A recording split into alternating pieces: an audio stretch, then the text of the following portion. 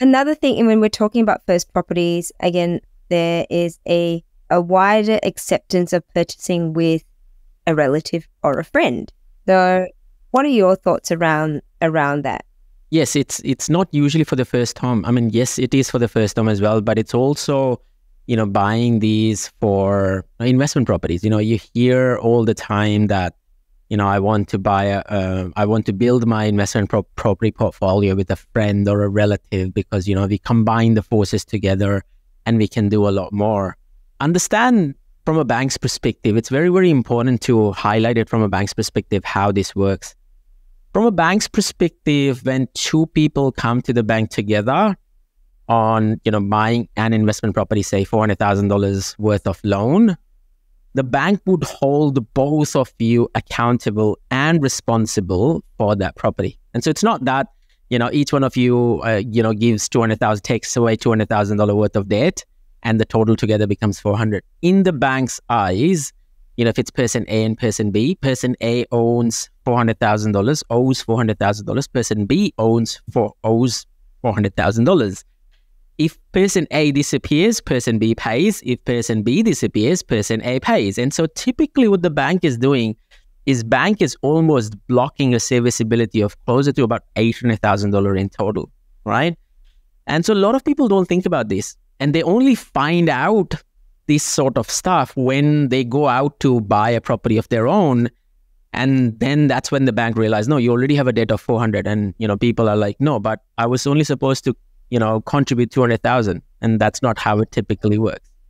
And so while it's a good idea to combine forces it's only good idea to combine forces where you have done something within your own personal capacity first and the residual serviceability it's what's left is what you're trying to use now to combine forces okay?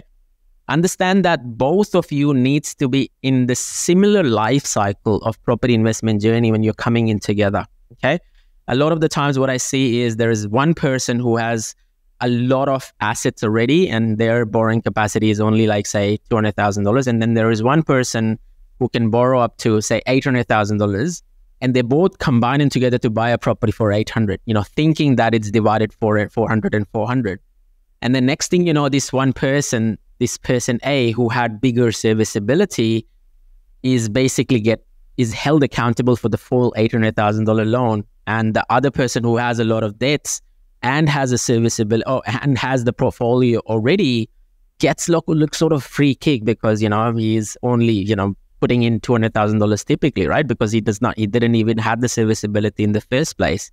So it's important to start off at the equitable position and think about this as a long term gig, not a short term gig, as to how you're going to grow to get the portfolio together. And it would be really, really hard to split the portfolio in the next sort of two or three years, you know, as you're growing this pro- property portfolio.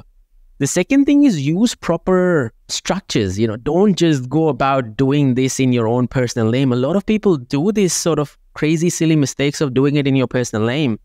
At least if you do it in proper structures, you can come out of that structure very quickly and hand it over to someone else, you know, or, you know, depart ways or, you know, sell off your share to someone else, etc and it provides you that flexibility you know without selling the asset triggering capital gains etc all of those things too.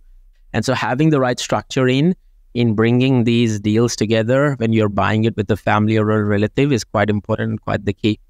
The last one which is also very very important is understanding the tax implications out of things too as to how this is going to be divided and how this is going to be serviced right a key example that i'll share with you is I know two people went into a deal where they were building houses and selling them, you know, and so they said, okay, we are going to buy a land, build a house, sell.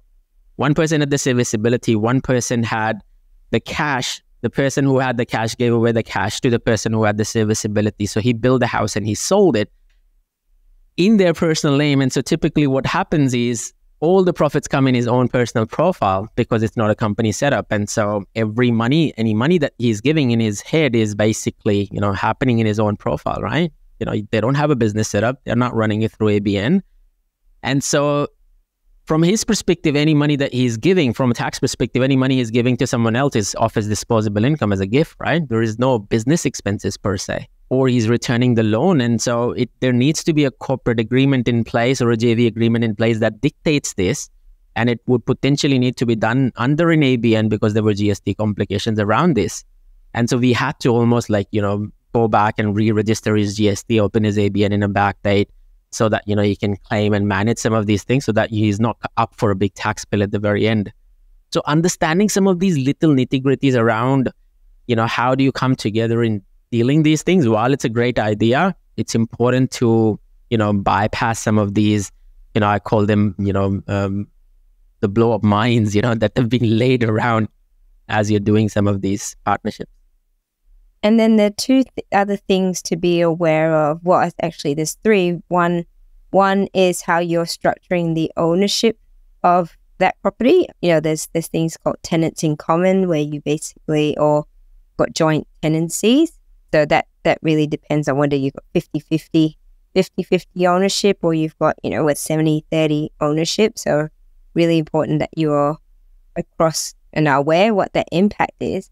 And the second thing is obviously, you know, things in your life change when you want to sell, you know, how to navigate that process and you might go, well, every two years we'll see, you know, we if we hold or we sell, but we, we need to come up with some sort of agreement that says, well, if one person wants and the other one doesn't, how do we deal with that, that situation? And if the other person does want to sell, how do we deal with that situation in terms of going, what's the value of that? What's the value of that side? And be aware because you are transferring some level of ownership there might there, there may be stamp duty implications.